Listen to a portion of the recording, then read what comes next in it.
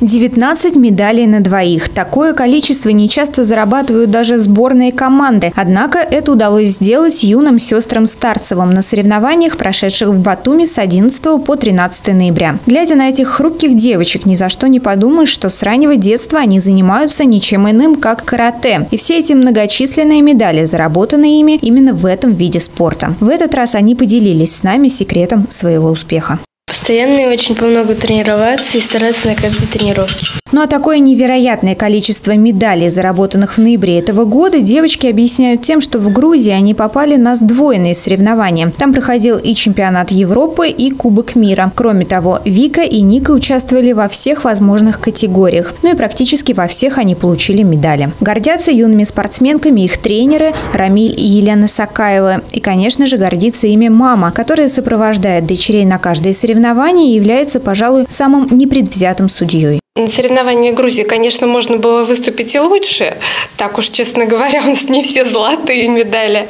Вот. Но, конечно, девочки старались по максимуму.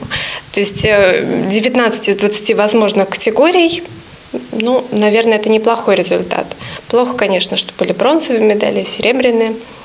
Но где была такая возможность, они действительно выкладывались, они занимались. И несмотря на то, что мы приезжаем на несколько дней раньше, чтобы посмотреть город, э, что-то узнать о стране, вот эти дни мы в любом случае тренируемся. У каждой из сестер свои сильные и слабые стороны. Так, например, Вероника – катистка. Небольшой рост дает ей преимущество в выполнении именно этих упражнений. Самое важное – сосредоточиться и сделать на максимум. Если ты этого не сделаешь, ты не выиграешь. А вот Виктория сильнее в кумите, опять же благодаря росту. Потому что я там э, самая высокая была, то есть мне легче э, заработать очки.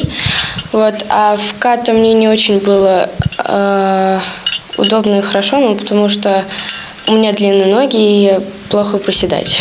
Как бы то ни было, результат 19 медалей говорит сам за себя. Кстати, с начала учебного года это уже не первые соревнования и, конечно же, далеко не последние. Впереди девчонок ждут состязания в солнечной Италии. Нам же остается пожелать сестрам удачи и новых высоких наград.